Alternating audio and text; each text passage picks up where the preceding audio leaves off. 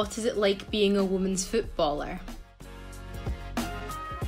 Being a women's footballer is uh, unbelievable. When I was a kid, that's what I always wanted to do. Um, I always said that that was that was my goal, that was my ambition, and I didn't know if it was realistic. I didn't know if it was possible back then because it wasn't such a common thing. Um, but yeah, so I'm literally just living that dream.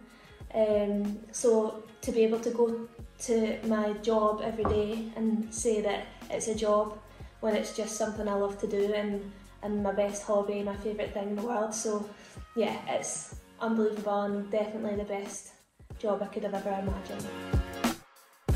When you were 15, how often did you train for each week and for how long? When I was 15, um, I actually trained a lot at, at age 15. I played for Celtic at that time, the academy, and we trained three nights a week, two hours at a time, and then played on a Sunday. Um, I also was involved with the regional squads, so that was an extra night training a week, two hours. But I did a lot of work on my own, just practicing technique, keepy ups, volleys, just little things going to the park, hitting the ball against the wall outside my house for hours and hours on end. So I probably added up a, a good extra four or five hours a week just practicing by myself, practicing with my technique. And I think that's where you can get a lot if you don't have the opportunity to maybe train as much with your team, then you can always go and do things by yourself um, and it works wonders. What aspect of training has helped you improve as a team player? This is quite a tough question, I think, because football is obviously a team sport and you play a team sport for a reason. You like to be involved in a team and work with other people and all come together to reach the common goal or target. Um, but I think actually a lot of individual training can really benefit the team. Um, if you can work on something that's your weakness or um, for example if I am right footed and to play for the team it's going to help me so much if I can use both feet. If I can dribble to the left, I can dribble to the right. Then if I go away and work hard individually on using my left foot, it's going to benefit the team. Uh, so I think, yeah, individual working your individual weaknesses is something that can hugely benefit your team. Um, and if everyone does the same, then the team's level and the team's uh, standards are going to rise so high. Um, so as much as it's a team sport, I think it's really important to work on your individual stuff as well. How do you cope with setbacks and failures and stay resilient?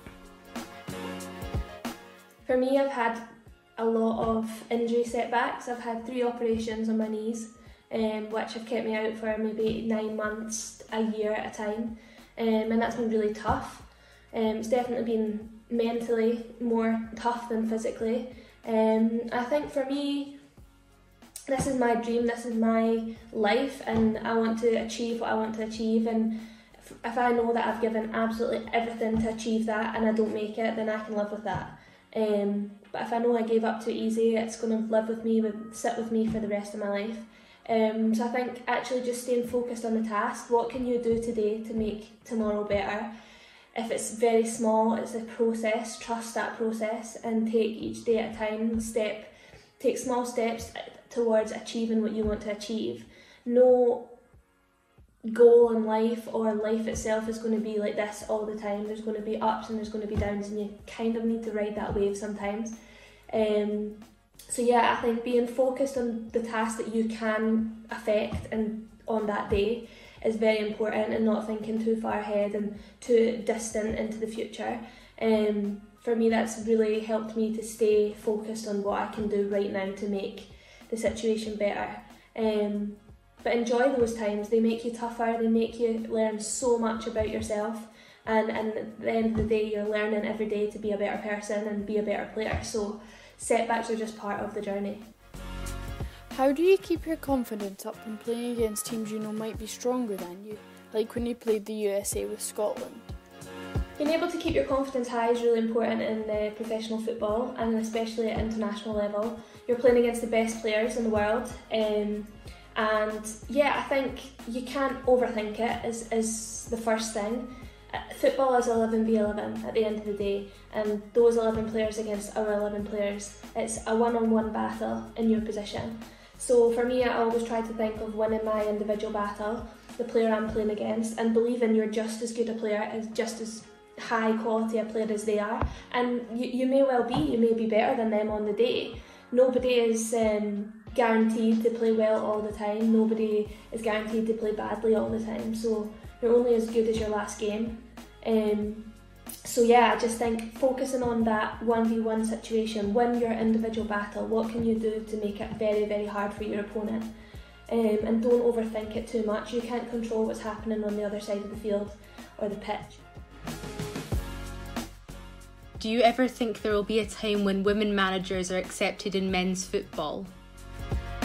I really, really hope there's a time that female managers are accepted in, in the male game, and I think we're getting there. I think it's already started to happen a little bit. Um, obviously, Shelley Kerr, she was the manager of the Stirling University football team, and I think they played in the Lowland League. Um, so I think it's happening, it's starting to happen, and for me, as a football player, I don't think many football players care if their manager is female or male, if they're a good manager.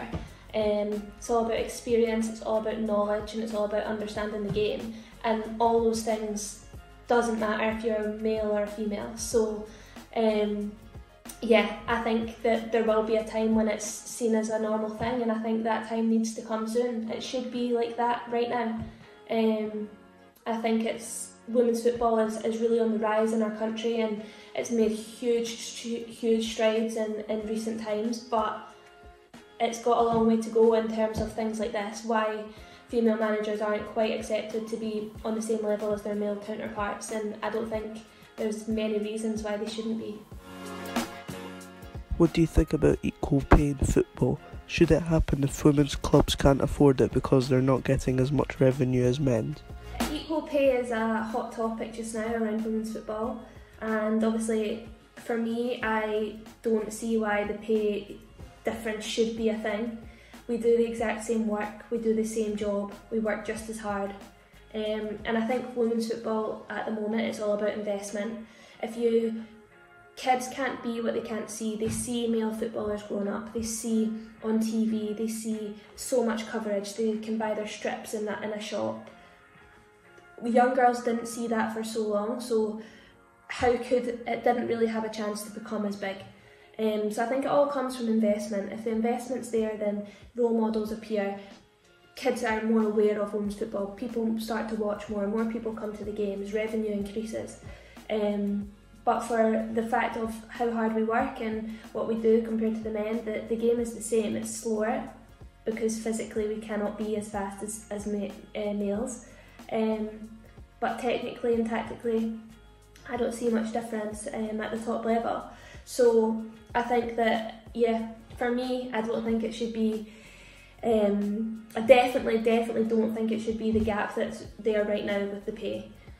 A lot of people would argue maybe women's football can't afford to be on equal pay with men, but the gap should certainly not be that big. Whether that means that male players are paid too much or female players are paid too little, that's individual um, opinion. But yeah, I think that the gap should shouldn't really be there solely based on the fact that one one set of 11 players are male and one set are female.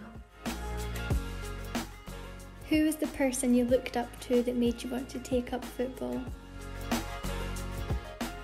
Growing up, I came from a really sporty family, and um, we played golf, tennis, squash, um, just about anything. I used to play football in, in the garden with my big cousins on holiday and absolutely adored them growing up and wanted to copy absolutely everything that they did. So um, yeah, it was a bit of that, but football wasn't really a big thing with my parents or my big brother. Um, so it was actually a, a active schools class that was run at the school.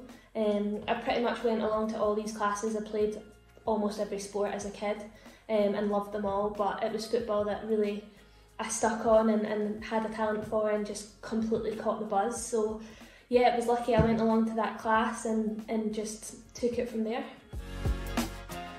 How does it feel to be a woman in such a male dominated field and what message would you give to girls wanting to get into football?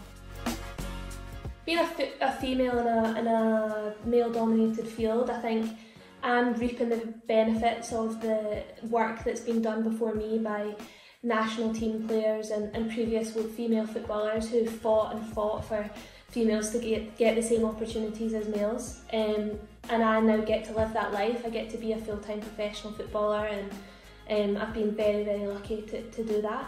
Um, but I think now we've got the responsibility to try and make that opportunity for the next generation even better and even bigger. And I think we're getting there. I think when I was a kid, it was a dream to come to go and play football, but I didn't know how realistic it was, or it wasn't right in front of me. I didn't really know if it could happen. I was just going to try to make it happen. But now, kids growing up, there's professional teams in Scotland for women, there's professional teams in England for women, there's professional teams all over the world. And that's a realistic goal for young kids now, and young girls especially. They can see that in front of them, they have role models, they have people to look up to, and they have people that they can create dreams from. Um, and we take that very, very seriously, and we have a role to play in that, and we are those role models now. Um, so creating chances and making making the dreams come true for the next uh, generation is the best feeling ever. And if I can help even one or two people then that would be unbelievable. Um, so I think just work hard. You're never going to get here if you don't work hard. That's that's the biggest thing. It all comes down to what you are willing to put into this. Um, but the rewards that you will get are the best and you will literally live your dreams um, if you're willing to put the work in. So I think keep working hard. There's going to be downs, there's going to be ups, but it's going to be worth it. So just put the work in because the opportunities are now there for all those young girls growing up. What was it like being told that you're going to play for Scotland's national football team?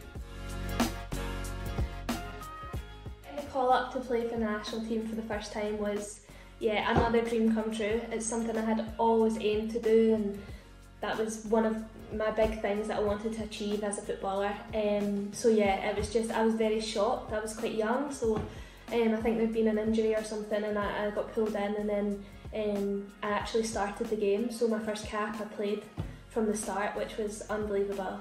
Um, and just a feeling standing there singing a national anthem. It was yeah, it was such a proud moment for me, a huge huge moment for my family. Um, yeah, it's the biggest honour you can get as, as a footballer is representing your country and I'm very very patriotic and proud to come from Scotland so yeah it was a huge moment for me and one I'll never ever forget. What are your top three tips for achieving your goals? One, again, you have to work hard. You have to give everything. You have to do extra than more than the person that stands next to you. Next to you, be the last one on that training pitch um, every time and do everything you can to make yourself better. Learn, be a sponge, take in every little bit of information that you can get um, just to make yourself the best that you can be. Um, number two, I think I would tell my younger self this as well that you need to trust the process. There's not going to be ups all the time, there's going to be downs and it's going to be hard and you're going to wonder if is this worth it, is, is this going to happen for me?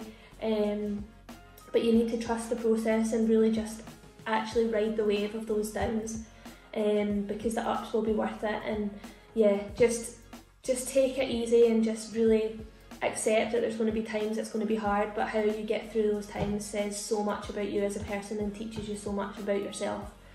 Um, but lastly I think the biggest thing for me is you have to enjoy it. You started playing this game because you love it and you've got to keep that love or you're never gonna you're not gonna work hard if you don't enjoy what you're doing. And um, you're going to be miserable if you don't enjoy what you're doing. And um, so you have to enjoy it you have to love it. And keep that little that little kid inside you that absolutely just loves to play football all the time and, and enjoy training enjoy games enjoy the pressure. Um, because one day you'll look back and think I wish I could go out and play football and you might be too old or not be able to do that anymore. So yeah, just enjoy every second of it. Who is the best player you've ever played against? I've got a few to be fair. Um, we played against PSG with Glasgow City and there was a player called Shirley Cruz who was a midfielder and she was unbelievable. the turned so quickly with the ball, technically so gifted, and just a step ahead of the game. Um, she was just impossible to play against. She was unbelievable. Um, but for me, I probably train every day, day in, day out with one of the best players in the world, um, which is Caroline Seger. And she's now 35 years old and she's still as good as she was 10 years ago. She just controls the game, the most humble human being ever. She's got a Champions League medal, she's got World Cup medals, she's got European medals. She's incredible, but one of the most humble and hardworking people ever. And I see that day in and day out in training. She's the Swedish captain. She's got over 200 national team caps and yeah, I learn so much from her all the time. She's just so calm on the ball, moves the ball, understands the game, and we'll never see another player like her again, I don't think. Um, along with Anja Mittag, the German forward, she's retired now, but again, I played with her and she was technically just unbelievable, the best player I've ever seen technically, and she just did things that nobody else could do. Um, again, very, very intelligent. So I think these kind of players were playing in their prime at a time when football wasn't, women's football wasn't as big, um, and they're maybe not as well known as they should be, but yeah, incredible.